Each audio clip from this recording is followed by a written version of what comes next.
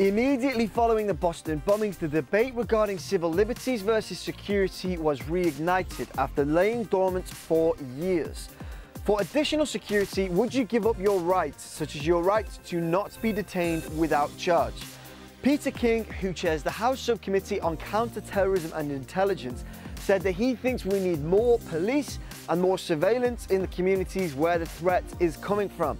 And articles in the Washington Post have argued that security and liberty need to be balanced. Even in the months before the Boston bomb, there were growing concerns about the removal of civil liberties under President Obama, who enacted the NDAA, which human rights campaigners say will allow for the indefinite detention of American citizens without charge.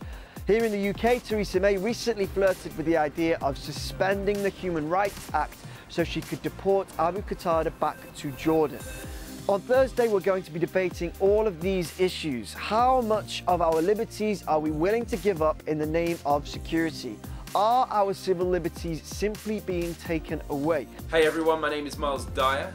We are live this Thursday on the 2nd of May at 7 p.m. GMT and we'll be joined by Myles Dyer, Big Brother Watch and No to ID. Subscribe so you don't miss out and check our Google Plus page for all the details. We'll see you then.